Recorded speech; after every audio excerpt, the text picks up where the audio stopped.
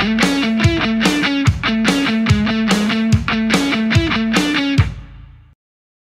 day, my friends. My name is Tracy Repchuk, and I'm the host of Reach Millions TV, an entrepreneurial lifestyle and learning channel where I will educate and introduce you to some of the greatest powerhouses in their fields.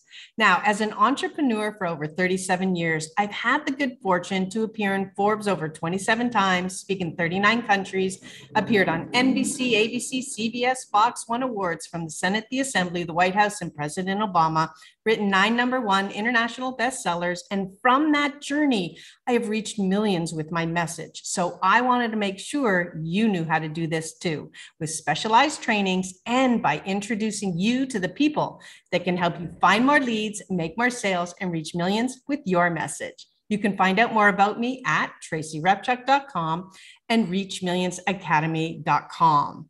Uh, now we're on step two of the three steps to planning. And uh, we're going to take a look at the actual goal setting. So, MRG kind of it stands for minimum real and game changer this is a method of always meeting your goals and it's a it's a nice starting point especially if you're new to goal setting to um, to really start with something like this. That way uh, you know you don't get overwhelmed you don't drop it because you feel like you're failing all the time or whatever tends to happen. Um, this helps to make it um, a lot easier. So remember this and let's take a look at it. Now what i've done here is taken very very simple numbers. I'm going to have some people that are brand new starting out you know you're just starting your business just ramping up um, and i have others that you know are making six and, and maybe even seven figures. It doesn't matter where you are. The concept is identical. I am using simple low numbers so that uh, you can start to track and monitor. All right and that will allow you to also see how you are progressing in in this uh, wonderful journey so the first step one is to take your plan, which of course came a little bit from the last class. And now we're going to predict sales. Um, there is exercise sheets for this. And again, if you didn't get those, they are in the Facebook pages. And um, they, of course, will be, uh, for those of you uh, coming in and just watching replays, they will be right beside and available for you. All right, so it's going to start with a typical calendar, right? So in in our case, you will, you know, lay out your 12 months and if we are where we are right now, if you are where you are right now, start on that month, okay? And and move forward as if it's a brand new calendar year. Uh, no sense, you know, backtracking, that time is uh, gone. So let's say for this month we wanted to do uh, $1,500, all right, in income. Now you will fill that with your MRG target. So the minimum. So uh, let's say your minimum is like, okay, I know I can make $1,500. Okay. And so let's say you can sell one item at 1500 or you can sell three items at 500 and you see the pattern, right? Or you can sell X items at 300, right? You could sell five items at 300. So you want to start breaking down, and that's why the planning stage was an important one because you need to almost make a list of the assets that you have right now to sell. Okay, so let's say, for example, you had a uh, you had done the course, right? The um, how to create an online course guaranteed to sell, and you have an item for $300. You're brand new, you have nothing else. In this situation, you know you got to sell five people at that kind of 297 uh, brand new going through it the first time online course that you're creating okay so we can tie all of these together um, again especially if you have no idea really what you're going to do to make money maybe you know you you've uh, moved from a, a career that currently no longer exists because of covid or lockdown or whatever scenario has occurred so let's say we're, we're moving everything aside and we're just going to focus on the course. Now, doing this as well, just in your head, and then you can doing it on this, when you're doing it on your company, it's hard to do it right now because you got to go through the books and you got to go, you know, get legitimate figures, etc. This is why we'll play. What if you went and did an online course exactly like I taught? and uh, we're going to set the price at 297 that's what we do and if we move forward now what could that look like okay Alrighty, so there's the minimum, right? Then you can, oops, then you can have the, the real, what you said is the real. So let's say you sell three at 500 and the one at 1500.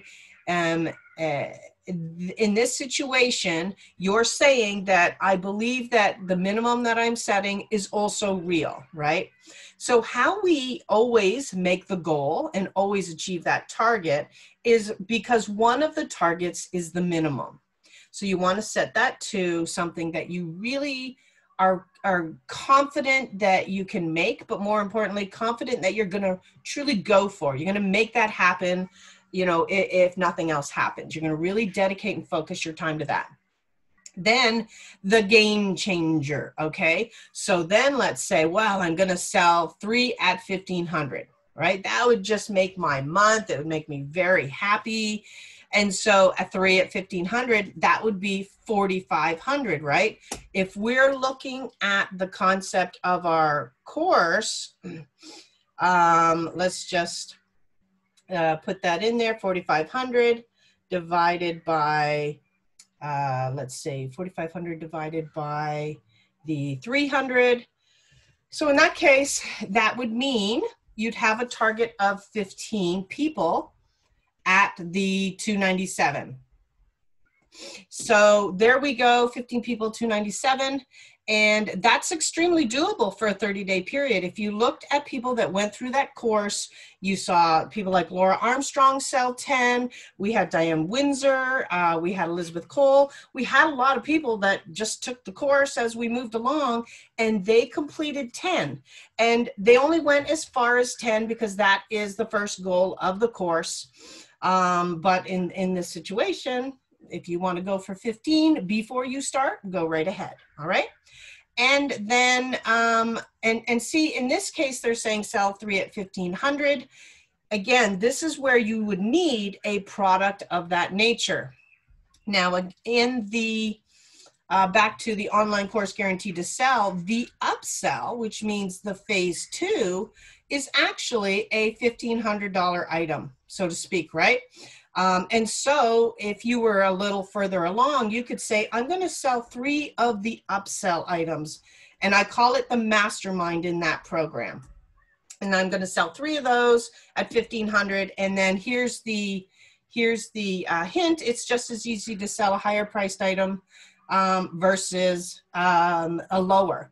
It is much easier, um, and and people, you know, sometimes think, oh, it's easier to sell lower, it is easy to sell lower and i do enjoy that. It just just means you need more people though. So you, your reach is out. This where you want to set some automation in place and things of that nature. Whereas you know finding three people is a heck of a lot easier. Now in the course i'm giving you this kind of spreadsheet that you'll be able to uh, download as well. Okay. And so you'll just set your, your MRG goals, your minimum, your real, your game changer. And then what you'll start to do is write in your actual goal into the chart. Okay. And then you'll determine your income and you'll start to track how close was my income to the goal. Right. And it just, just needs to um, as you're tracking and measuring, it makes you aware of things, right? It's one of those activities that a lot of people skip. They'll say, Oh, I know I didn't make nothing, or I know I did this, or I know I did that. I can see what's in my bank, I can see what's happening. When you when you really put that into a spreadsheet and you truly look at it or the type of people that do their books you know weekly do their statistics weekly etc um, then it really becomes a easy way to track and monitor. And so that's a uh, good good way to keep your confront up, keep you uh, putting your attention where it needs to be, right? That which you put your attention on grows. If we're going to put our attention on making money, then that's the activity that's going to start to uh, grow.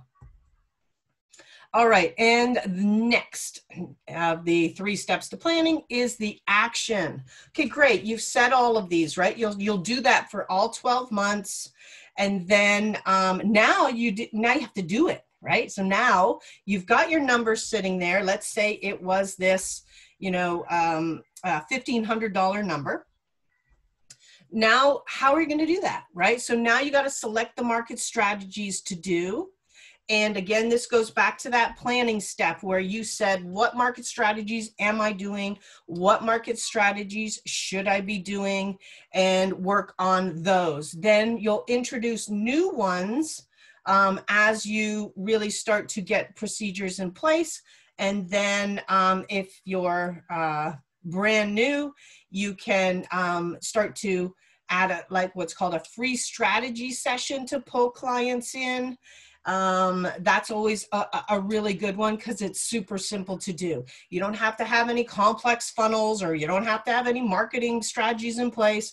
You simply say, Hey, are you having a problem with this? well, I'm offering a free strategy session on how to overcome XYZ or how to improve your income or how to uh, build a better relationship or how to become a leader, whatever it is, right? And so you'll do that, you'll get them on a call, you'll listen to their main pain point, and then from there you can say well you know what? I am doing this brand new course. Um, it, it's you know normally going to be about a thousand dollars. It's 12 weeks with me. Um, but because this is going to be my first time through and it's a pilot um, I can offer it right now for $297 and I'm going to be able to spend the next 12 weeks and we're going to address this issue that you have. Okay. So that is um, a nice and simple way if you're at starting from ground zero right now to move your way through. And then step two you're going to take your plan and create the steps to make that happen. So now we've got the, okay, this is what I'm going to do. Now you really have to get more detailed. You're going to write the steps and activities needed to make those things happen. And then you're going to implement that strategy each month. Now, one of my favorite tools, and it's free to use and start with until you get extremely complex, um, which most people don't, is Trello.com. It helps you to um, lay out and plan um, all of the steps in, in a cycle. And it helps you to create checklists that you move into a board and, um, and then you can follow those every single time to move, to track and monitor the flow of people, to track and monitor the steps, to track and monitor um, and make sure that checklists are getting done. You know, for every email funnel that's built, there's 15 steps for the email part of it alone, right? Then there's landing pages, then there's this. So all of this is in a board so that each time we do it, it, it um, helps to uh, ensure that the activity is carried out properly. You can start to do that. Um, and what's great is, you know, three, four months down the line, as you're repeating and duplicating and bringing in checklists again and refining the process, um, it just helps get you better and better and better at doing the things and recognizing what's working, what's not working. In many cases, you remove a lot of the guesswork because you can see, wow, you know, I did. Uh, I did, uh, you know, 10 BK requests and I met with three people. And as a result of that, um, I got a client, right? And so that's an activity you're going to keep up. And so you want to start to track and monitor that. Now, today's lesson, and as I said, there's, they're going to be nice and quick as we go forward, is really now about staying profitable. So let's take a look at, there's four main ways to really start to reach out and expand your um, uh, targets and, and, and things of that nature. So the first one, of course, is the internet um, and kind of social media. We'll bundle those together. So as you're doing your planning, you want to be sitting there going, okay, well, I, especially when you're planning out that marketing um, strategies. Well, okay, I've got this now, but in the future, I want to reach more people. So in the future, perhaps I need a landing page and an email marketing funnel so that I can handle the volume in order to convert to whatever it is your program and service. So you just want to maybe write that down, or you might say, I need to do a full rebrand. I've changed the direction that I'm going. I know my website needs to have a, a new look and feel. Or you can simply say, This is great. I've got my website, it's ready to go, and then move to future options. Okay. Now, um, and such as social media, which is part and parcel of that. The social media aspect, I want people to remember in general, social media is a brand awareness activity. You can add sales and selling to it only 20% of the time. We're at the 80 20 rule and then you will create that kind of environment of that. So um, eh, there are those habits will start to come in. And again, that's why a 30 day marketing social media calendar is always a good activity so that you can start to see, oh, this is good. On these posts, I'm doing promotion on these posts I'm doing um, uh, selling because often people don't intersperse a sell in there. Now that doesn't mean you're asking for the sale. It means you're sending to leads a lead generation capture system you're you're offering a discovery call again almost a lead generation to a conversion cycle or you're just focused on or if you have a low front end offer you can you can make that. Or if you have an actual landing page you can say hey go here right? And and go to there. The less the barrier the easier the capture of a lead okay? Um and so um the next uh, three i'm going to be talking about a little bit in in the chart, in a chart scenario.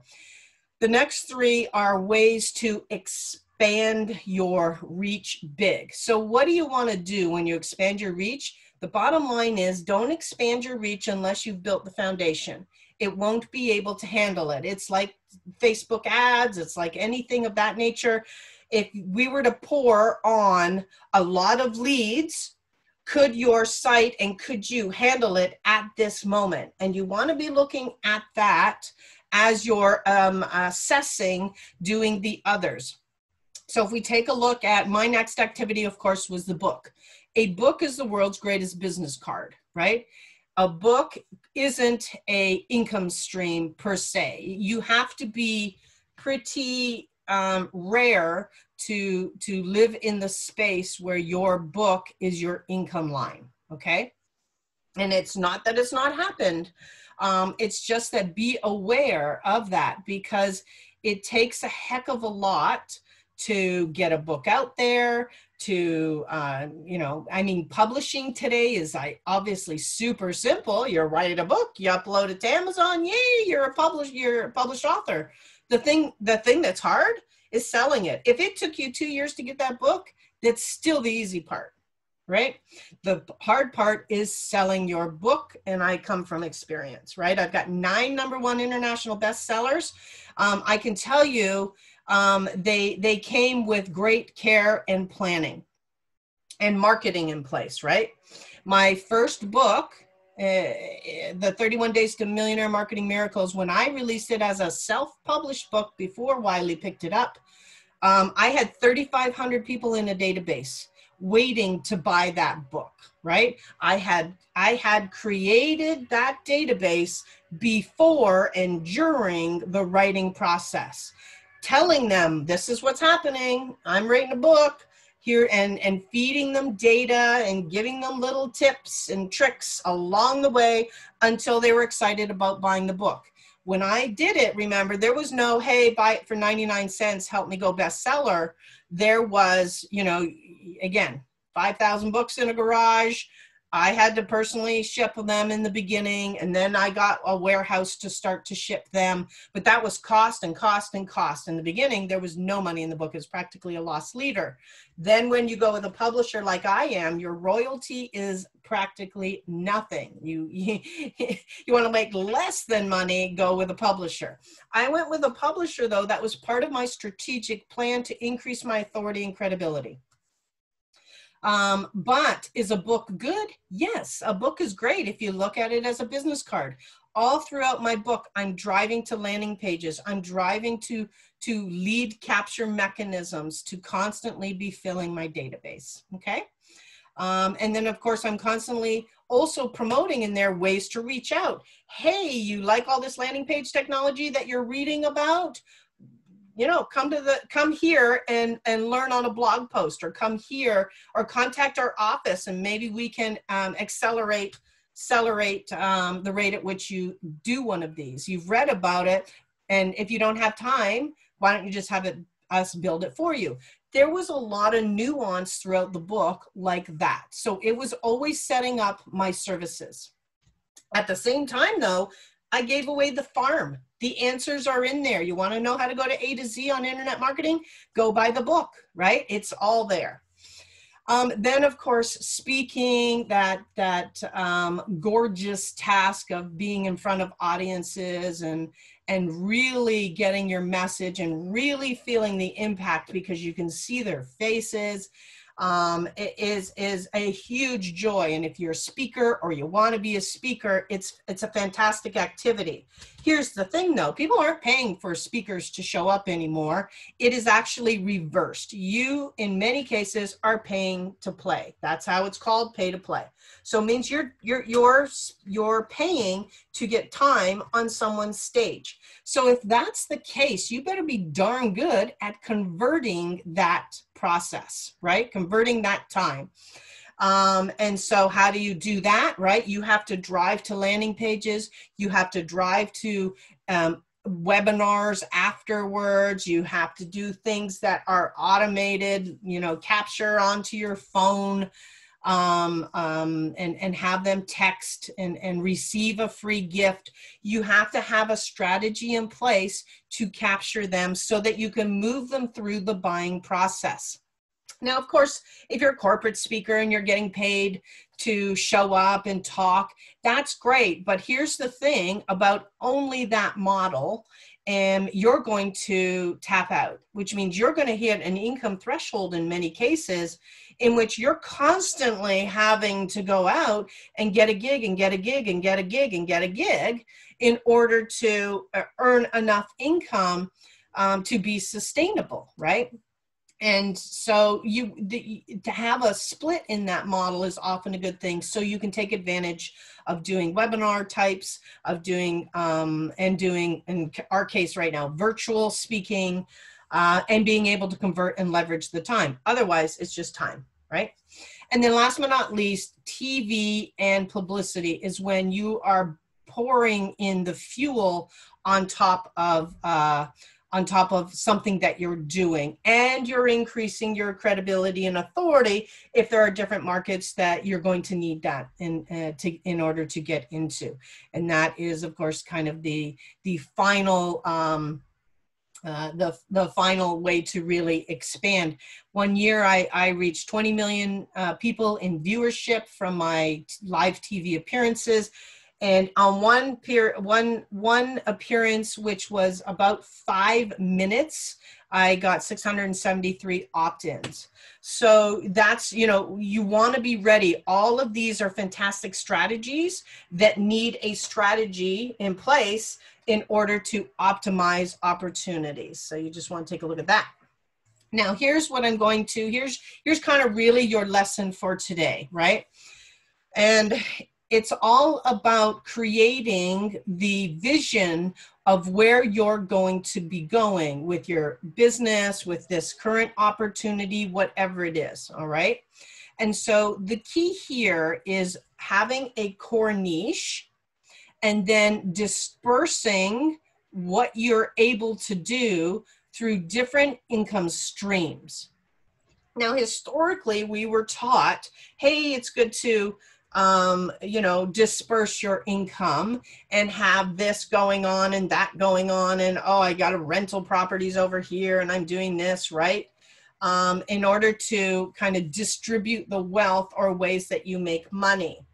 What occurred when the internet really locked in is there was a way to do this. There became a very simple way to do this simply by keeping on your core niche and using the different elements of uh, distribution in order to bring that uh, bring in income. So, for example, if we take a look at this, right, in this situation right here, if all I did was was be a speaker with my core niche, I could be in in very deep trouble considering um, all of my entire year's worth of speaking gigs were wiped, right? And so as we move forward, um, if that's all I had, that it means people in that situation are extremely struggling right now.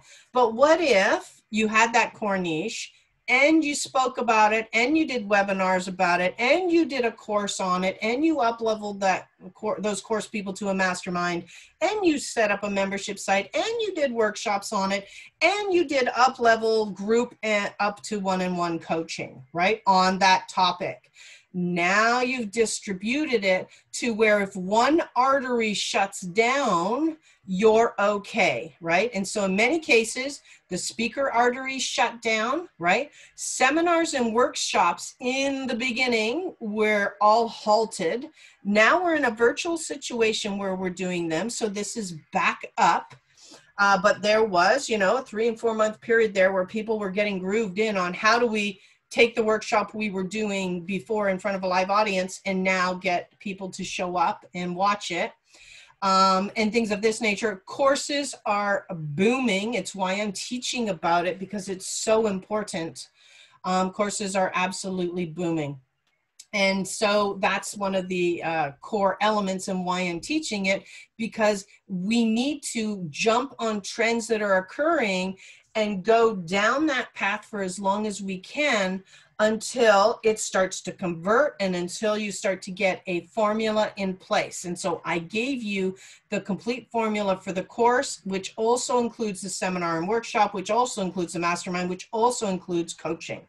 And it also includes webinar. I then also gave you the complete training for how do you do a webinar. So I have satisfied multiple of these um, uh, uh, distribution methods to make sure you have a well-rounded income stream so that you can be successful um, no matter what the economy brings. Alrighty. So in your lesson, you're going to fill out your own income wheel. So again, if you haven't done the first class, you're going to go through that. You're going to fill all of the data out that will help you now roll out your income uh, planning, the actual numbers, and what are you going to sell. Uh, in in that if you're a singer you can sell singing lessons you can create a singing course right if you are a um, uh, let's let's say you're a landscaper. In many cases maybe you have to switch entirely or you can look for other opportunities on how could i create a landscapers membership where we all where i teach you how to you know get um, um, um, people to um, hire you right? Whatever it is. There, there's things that you and adjustments everyone is pivoting on. Uh, you know I, I know people in here that were massage therapists and now they're leadership coach trainers with a course and a mastermind and a and an event and uh, coaching right? So people have had to pivot massively and what i've done here is um, is really a, a great part of that okay? Um, on how to distribute and take the knowledge that you have in your head because this is the one piece nobody can touch right they you know maybe maybe we can't go out and do what we've normally done. Well you still have this? And we have the internet. And that's why this is a a medium and distribution method for that. Uh, but again if you're you got your business and everything's uh, going uh, the way you want it to and you know doesn't matter the circumstances you can grow and scale do that as your income wheel. And what's the bottom line as well is to stay focused